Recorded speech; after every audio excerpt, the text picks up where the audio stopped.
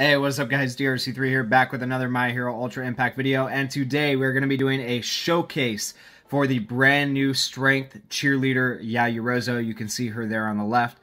Now, she does a couple of really interesting things. She gives characters the ability to make a last stand with her plus ultra. She increases skill impact with her plus ultra. Her action skills allow her to increase team's defense and heal. She also, with an auto skill, increases the max HP of all strength characters on the team. And then, what was the last one? I got to take a quick look. Her last auto skill increases characters plus ultra gauge by 20% when the battle starts, and also regenerates HP of all allies by 10% when HP is below 50%. So that is also a really, really good ability. This Yaoyorozu is going to be interesting in the future. I don't know if she's quite exactly meta in PvP yet. She's definitely meta when it comes to all of the PvE content. She is absolutely meta. Really, really, really good for the USJ. Really, really, really good for the VE tower. But as far as PvP, I don't think she's quite on Nejire's level yet, as with some testing that I've done. We'll kind of see that here. I might actually lose this battle. But with we don't know what characters are coming out in the future, right? And so maybe with some other characters in the future, she will become more meta. It's just we'll see when we get there. Right now, Nejire is probably still a little more meta because she increases plus ultra and gives you that turn three plus ultra with all characters. So to kind of make up for that, I am using a memory on Yaoyorozu that gives characters a plus ultra when HP drops below 30%. So if Yaoyorozu does get targeted the first turn, like I think she will, because she has the lowest health, then she'll drop below 30%, and then she will increase the plus ultra gauges of Endeavor and All Might here. And we should be able to get a plus ultra turn 3 or turn 4, hopefully with them. Now, Yaoyorozu's own abilities do increase her own plus ultra gauge, so she'll get it like turn 3 no matter what. Unfortunately, it doesn't increase the plus ultra for the whole team. That would have been nice if they threw that in, but she's already so kitted, I guess they're like, nah, we, we can't do that. That'd be broken. So I am taking on a 319,000 team, you can see there. And then if you look at my BP, it's only 289,000. Now I am pretty high in the leaderboard or the brackets right now. I'm in top one. I will eventually get to legend. I've just been kind of slacking off this season. I'm not there yet. So I will say it's hard for me to find people where I can try different teams from my normal team because like my normal team, you can see it's 350 315,000 there. And I usually like perfect people with that team. But this team here is not that, so it's going to be hard for me to find people that are around the same BP as this team. So I just have to fight somebody that's going to be higher than me. So keep that in mind when we're doing this showcase. I may not win, but if this person was the same as me, I do I should theoretically have the type advantage for the most part, so I should be able to win. But we will we will see. that blue Kirishima scares me, and so is the blue Midoriya at the end. I feel like that's going to ultimately be what ends up killing us but we'll have to wait and see, huh? Alright, and Todoroki and Endeavor have their little father-son dialogue there. Now, we are going to use Yaoyorozu's cannon first because it increases the character's plus ultra gauge, like I was saying before, and it also increases the skill impact of all allies. That is going to be really useful. We'll use that first. And then we'll use Endeavor's Fire because it does a speed down effect. And then we'll use All Might's Oklahoma Smash because it gets increased skill impact when the character is in a speed down effect. And we're going to go after... I think we go... No, yeah, I'm really not sure who to go after here. Let's go after Todoroki. Maybe? No, no. We get rid of Uraraka. We get rid of Uraraka. Yeah. So we'll do this. This will increase skill impact. Obviously, it's not going to hit and then, okay, good. He did not freeze anybody, so dodge. Okay, reduce speed on Uraraka. Now All Might hits really freaking hard. nice. Oh man, and she's got her counter up. Rip. Forgot about that. I should I should really think things through better. Anyways, let's use this heal. We do know their Todoroki is going to use. Let's see if we can get Todoroki dead. Let's see if we can do that before he plus ultras us. Maybe we'll get lucky.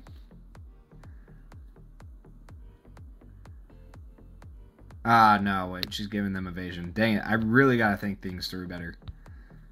Okay, yeah. So Todoroki's going to hit someone here pretty hard, but we do have increased defense. Let's see how hard he hits us. I'm interested to see.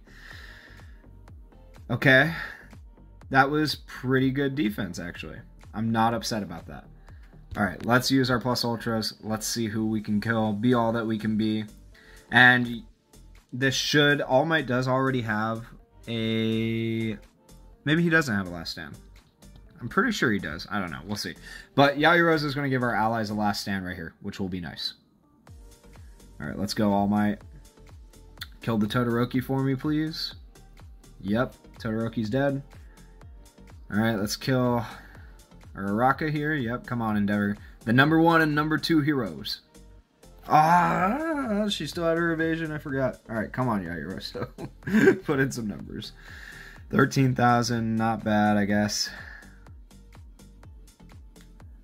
All right, yep. Mm -hmm. She counters everything. Lovely.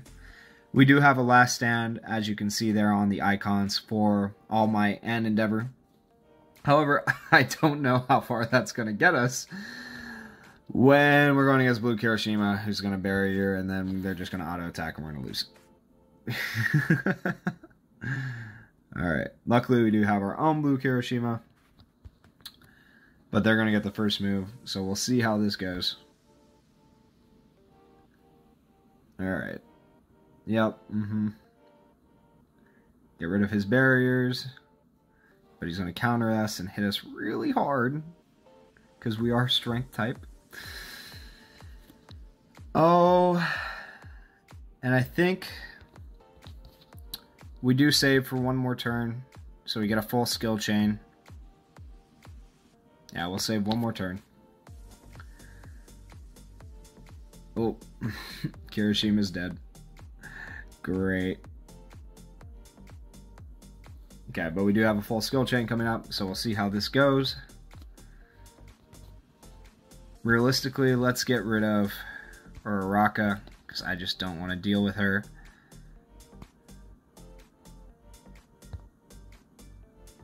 Mm, yeah, and we can use the Frost next turn for a...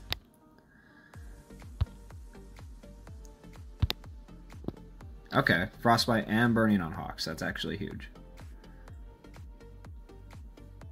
And we have Yaoyorozu's heal. We'll go ahead and use that here. We'll go Frostbite, and we'll go Flame Fist.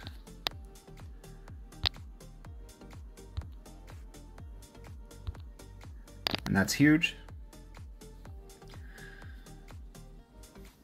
Yaoyorozu is still alive, barely. and I don't want to use plus ultras here because Kirishima's just going to barrier them. Oh no. Oh no.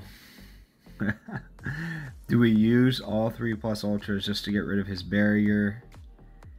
No, we're not even going to get to use all three because he's going to kill Yaoyorozu here. But so far, Yaoyorozu has done a great job for us. We have increased defense this turn. Endeavor still has a last stand. We have a chance to win this even though we're type disadvantaged, but we are going to lose Yaoyorozu here. I'll tap her ult just in case for some reason she doesn't die, but I'm I'm yeah, she's dead. She's dead. Can't do anything about it. All right, there's barrier 1 and 2 down. He has his counter back up, so he's going to get another barrier. Can't use our plus ultra yet, unfortunately. Hopefully, Red Todoroki survives the turn. We'll see. and no, no. The game just said no. All right, so now we plus Ultra Kirishima. Get him out of the way at least. Or not. and we lose. See, so something I want you guys to keep in mind as we finish up this PvP battle. We were 289,000. This was what? 311, 317. That is like a 20, almost 30,000 BP difference and Yaoyorozu's ability to give these characters who I would argue are usually generally very squishy. The All Might and the Endeavor, if you've ever used them, they hit hard, but they're squishy. She has given them extra max HP. She has given them the ability to have a last stand. She has given them reduced damage. She has given them increased skill impact. Like, It's absolutely nuts. And then she heals on top of that. That is the only reason these guys have been along alive as long as they have. And unfortunately, like this person was smart enough to put two blues as his rotation, as his subs. So we are type disadvantaged against that. But if it was an all green team or a green team in any other color but blue, like this team would have smacked that team. Just so you know. But like I said, where I'm at, where I'm ranked currently, it is hard to find teams like that. And I would not say that this Yaoyorozu is yet to be meta, but I, I, I do see it coming down the road. I see the possibilities of her being meta coming down the road. As soon as they introduce a memory that speeds up the plus ultra gauge for all characters that does what Nejire's abilities do, as soon as they give us that memory, this Yaoyorozu is going to be meta because this Yaoyorozu is just going to be better, right? She's going to have all of this extra stuff the power up, the skill impact, the damage reduction, the healing. And then we have the memory to increase the plus ultra of all characters. So once we get that, that's that, that's going to be a game changer. Now I do know there's a memory in the shop that increases all allies by like 80% or something like that. I'd have to look more into that, but I don't think that's exactly the type of memory I'm talking about. I think the memory I'm talking about is something that gradually, excuse me, increases the plus ultra over time. So while this Yaoyorozu may not be meta in PvP just yet, she is. I said it before. I, I, may sound like a broken record. She is definitely meta in the USJ and meta in the VE tower. Like so so good, really good for the USJ. Like amazingly good for the USJ if you're trying to beat that on level five. But in PvP, not yet. But probably coming down the road as soon as we get some sort of memory that increases the rate of plus ultra gauges or something like that. Maybe there already is one, a UR one, and I just haven't gotten it. Let me know in the comments if you know of such a memory that increases the rate that a plus ultra gauge fills up. A UR memory, not an SR one. I'm pretty sure there's SR ones, but they're not that great. So let me know if there is something like that already, but I don't think so yet. But that would be a good memory to equip to this Yaoyorozu, and if you have that, then this Yaoyorozu is very, very viable. All right, and you saw the last stand come in clutch there with 53,000 damage hitting us.